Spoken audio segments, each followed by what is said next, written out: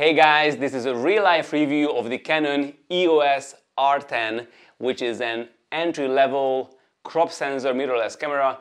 In this video, I'm going to go through the main specs of the Canon R10 and put it into different real-life situations to see how it handles, how the autofocus holds up, how good the image quality is, and I will also briefly test the 18 to 45 millimeter kit lens that comes with it.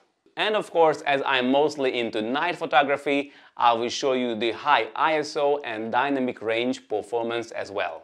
Hi, my name is Miklós Mayer and my channel is all about photography, so if you'd like to take better photos, this is the right place for you and please hit the thumbs up and subscribe to my channel so you will not miss any of my new content. The Canon R10 was introduced together with the more professional R7 in 2022 and Canon positioned the R10 to be an entry-level camera, but since then the even cheaper R50 and R100 was also introduced. So what makes the R10 an entry-level camera? Well, the R10 has only 24 megapixel resolution sensor, it doesn't have as high quality body and it has only one memory card slot, it has less professional video features, no headphone jack, and most importantly, it does not have an image stabilized sensor. But I don't think that the lack of IBIS is a big deal because most of the RF lenses, especially the kit lenses, have image stabilization in them. Apart from this, most of the R10's features are exactly the same as the R7. So the R10 also has a crazy speed of 15 frames per second with mechanical shutter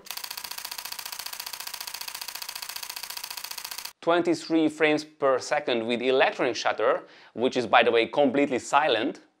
And the autofocus is exactly the same professional AF system used as in the high-end Canon cameras. The awesome autofocus that finds the eyes of people and animals is one of the key selling points of all mirrorless cameras and that's why I always tell people to switch to mirrorless simply because the autofocus features are so much better.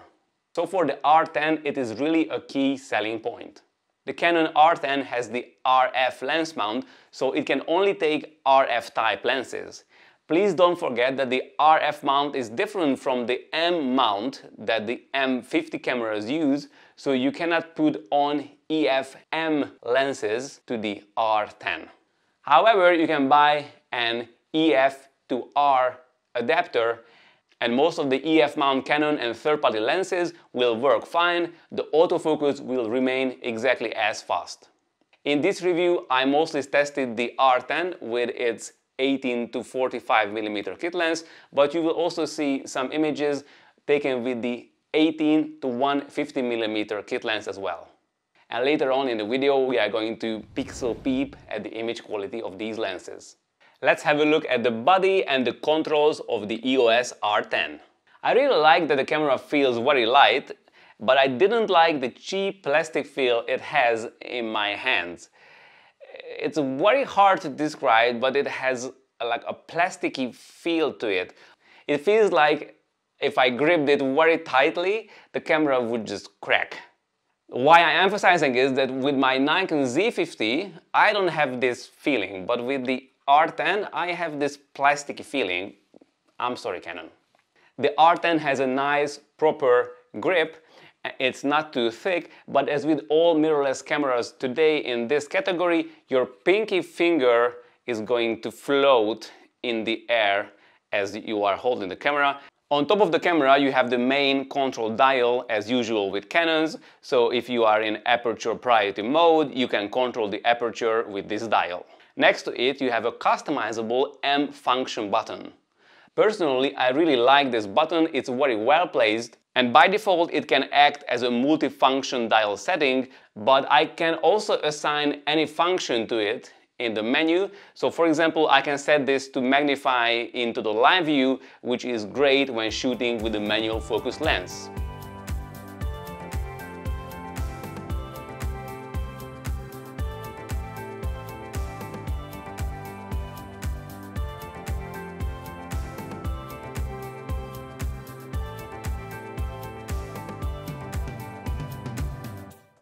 Or I can assign 5-star rating to it. So when I'm browsing the images, I just press the M-Fn button and the image gets a 5-star rating. So when I put the images into Lightroom, I can immediately see which are the images that I highlighted. Then there is the video recording button, which can also be customized similarly. And there's a lock button, which logs the controls. To be honest, I've never ever used the log button in my um, 14 years of career in photography. Let me know down in the comments if you ever used it. Then there is the program mode selector dial. Here we can find Canon's exclusive Fv, flexible mode, along with the usual other modes. In the flexible mode, you can lock the aperture, shutter speed, exposure compensation and ISO to any given value or leave it on an automatic setting. So for example, now I set the aperture to a fixed value and the ISO to a fixed value as well, 100, but leave the shutter speed on auto, which is essentially an aperture priority mode at ISO 100 and a given aperture. But I can also set the ISO to auto and then the camera will adjust the ISO speed in order to maintain a fast enough shutter speed. Basically, this would be an auto ISO setting coupled with aperture priority mode. By the way, I have a detailed video what auto ISO is and how to use it, check it out right here. Or I can use it as manual mode if I set everything to a given level and there are so many other variations as well. And next to the on-off switch, we have the secondary control dial. If you are in aperture priority mode, then this controls the exposure compensation. Now let's jump to the front of the camera. Next to the lens, there is finally a physical focus switch. I am sure everybody prefers a physical switch when it comes to autofocus or manual focus. As most kit lenses today, like this one as well, it doesn't have an autofocus manual focus switch. So it really made sense to put a physical switch onto the body itself. Nikon should definitely follow this. On the back of the camera we have a joystick which is placed really comfortably just where my thumb naturally points to. You can use this joystick to adjust AF points or to jump between eyes when using Eye-AF. Personally, I really liked using this joystick. I liked it way much more than the R7's multi-selector dial or whatever they call it. At the bottom of the grip, there goes the battery. This is a pretty small one, by the way, but luckily it comes with a dedicated charger. You can, of course, charge the camera via the camera's USB-C port. Next to the battery, we have the single SD card slot, Unfortunately, the R10 has only one card slot. On the back of the camera, there's an excellent touchscreen that can be tilted completely out to the side. This makes shooting verticals close to the ground really easy and it is also super helpful when videoing myself. But to be honest, for simple photography, when I'm behind the camera, I prefer the simple tilt up and down mechanism that, that most Nikons have. And I've heard from many of you in the comments that those of you who, who are serious photographers prefer that up and down tilt mechanism compared to this one. And, and to be honest, I can completely understand that. Anyway, this is a touchscreen as it's supposed to be. You can double tap on the images to magnify into them or you can just use normal finger gestures. And of course, the menu is also touch sensitive too. On top of the camera we have a 2.36 million dot viewfinder. I personally really like using it. The buttons on the back are very well placed and can be easily reached with my thumb.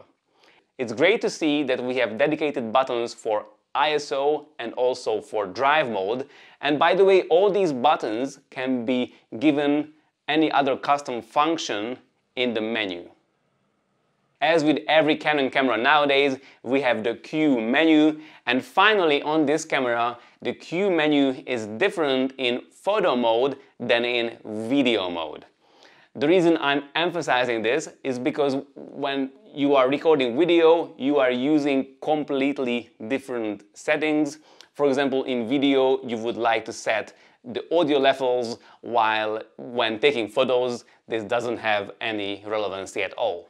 On the side of the camera, we find a microphone jack. However, there is no headphone jack here. Also, there is a remote control jack, a USB-C connector, and a mini HDMI port. Now let's see some of the key features of the EOS R10. First of all, the autofocus system, which is really top of the line, is the exact same as in the super high professional Canon R3. I could tell you how many AF points the R10 has, but honestly, who cares?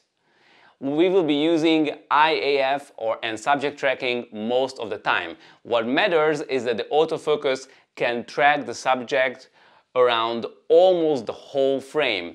These white markings mark the edges of the AF area. You can see it's almost the whole frame. What I also like about the AF is that it recognizes the back of people's heads and of course you can switch between the eyes if you want to, but in general the R10 automatically picks up the closer eye to focus on, which is the correct thing to do because you want to focus on the eye that is closer to you. As you can see, it locks onto her eyes from a far distance and tracks it down quite accurately. Of course, you need to be in AF servo mode and have subject tracking on. There wasn't really much light here, but still the AF did a good job. And the Eye-AF seems to be accurate even when using an f2 lens, the focus was right on her eyeballs, not on her eyelashes. And the autofocus doesn't only detect humans, it can detect birds even in bad lighting. Look how it finds the eyes of the peacock and also a very small bird even through the fence. And of course, it finds the eyes of dogs, cats and even aggressive llamas, as you can see here.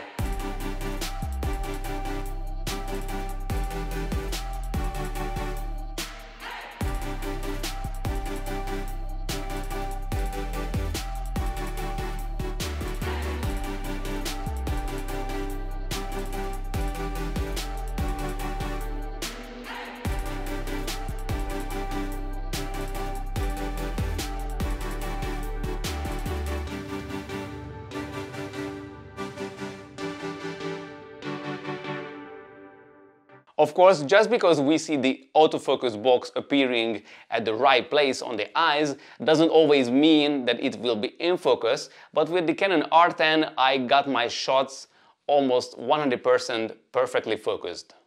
Thank God the Eye-AF can be further improved. I can limit the area where the camera will find the eyes. So in the AF area selection I go into zone AF and with the dials I can set the height and width of that zone marked by this white box. And now the R10 will only attempt to find eyes within that box. Once it found the eyes, then it can track that eye around the whole frame. So not within the box, but around the whole frame. The box just tells the camera where to look for the eyes when you half press the shutter button. So this is great for action photography where you want to limit the area where the camera would find the subjects. Oh, and by the way, you can also find and track cars as well, even if they are as small as my son's toys. So is the autofocus all airy fairy good? Well, its performance is very good, yes, but the way it's set up in the menu is really confusing. In the AF menu tab, you first have the AF mode selection and the AF area selection that makes perfect sense. However, after this, things get super confusing. You can select what kind of subject you would like to detect and if Eye-AF should be activated. But wait, what is this subject tracking? I am already in AF servo, I already have subject detection and IF. Of course I want the camera to track the subject. What is this? Why can I turn it on and off? It just doesn't make sense. What's funny is that even if I turn this subject tracking off, the camera still tracks the subject, it just doesn't display the tracking frame. Does this make any sense? Please let me know down in the comments if this makes sense to you. And by the way, here's a little tip for you. If you see this little icon, then subject tracking is on. And to be honest, I don't see any reason why it should not be on. Then the confusion continues as I'm going further down. There's the option switching tracked subject. In theory, you would be able to set how sticky the AF should be on the first subject, but in real life I couldn't see any difference.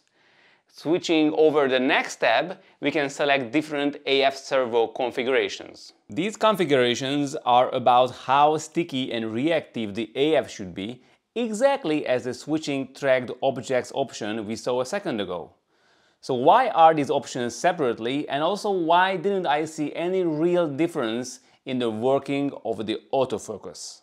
So what do you think? Do these settings make any sense or, or, uh, did I do something wrong or did I miss something? Let me know down in the comments. The other professional feature of the Canon R10 is its speed. With mechanical shutter, it can shoot up to 15 frames per second.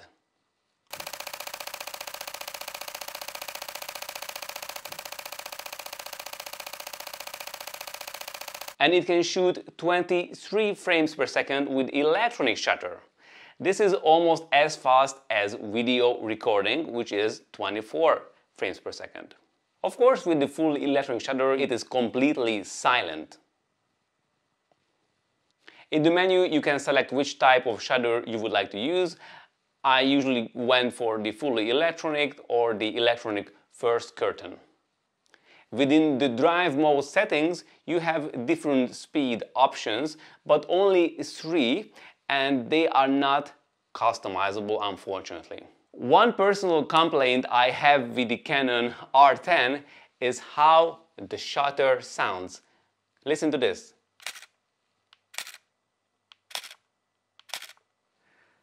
Uh, the way it sounds to me, it feels really like low quality and cheap and, and fragile. It just sounds, sounds like a toy.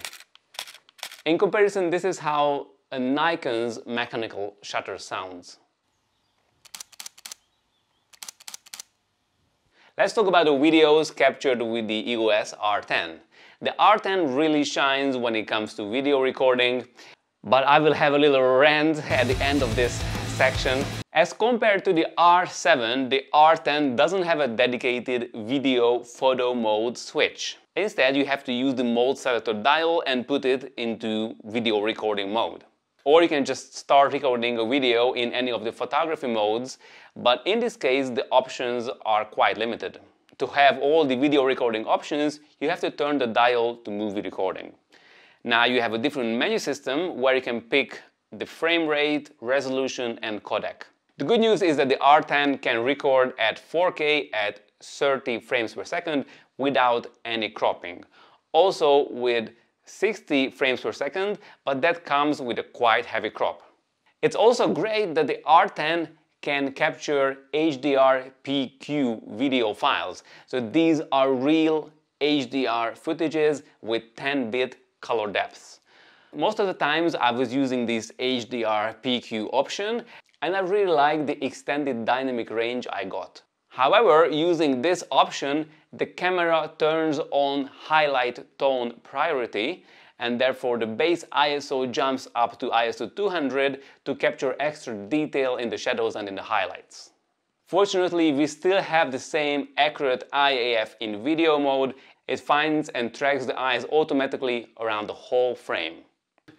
We can also shoot videos with 120 frames per second, but then the resolution drops down to full HD. Playing it back at 24 FPS, this is 5 times slow motion. As you can see, the autofocus did a fantastic job here again. It tracked her really well.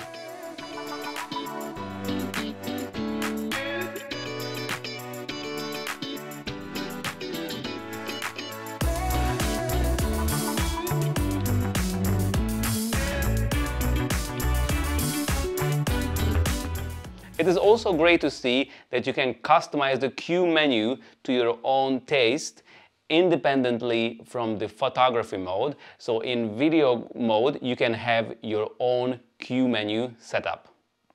For videographers, it's important that the R10 doesn't have in-body image stabilization, but luckily for us, most of the RF mount lenses from Canon, especially the kit lenses that come with this camera, have image stabilization in them. Holding the camera in my hand, I got this footage with the image stabilization enabled.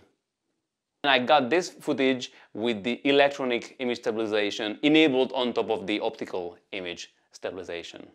And here comes my rant about video settings. Do you remember that we used to trash Sony for having a menu system where everything is scattered around? Well, Canon is making something similar here. Of course, they will say that this isn't a bug, this is a feature. The first bug or feature. When in video mode, you can select which shooting mode you want to use. Auto exposure, where you can only select exposure compensation, nothing else. Or manual, where you can control aperture, shutter speed and ISO independently. This is what I used most of the time. Or you can have HDR video, but don't let this fool you. This is not real 10-bit HDR video as I've shown you earlier. This is just something where the camera kind of extends the dynamic range. So this is not a true HDR video. However, Canon quite confusingly calls it an HDR video. Why? I have no idea. And the second thing that bugs me is that in the menu you first need to go into the wrench icon and set if you would like to use NTSC or PAL system. This kind of makes sense for beginners.